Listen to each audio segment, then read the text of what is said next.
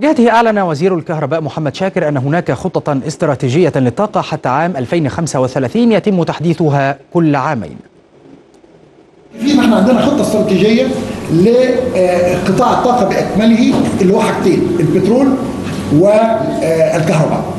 والكلام ده لغاية سنة 2035 والدراسة دي موجودة تحت يعني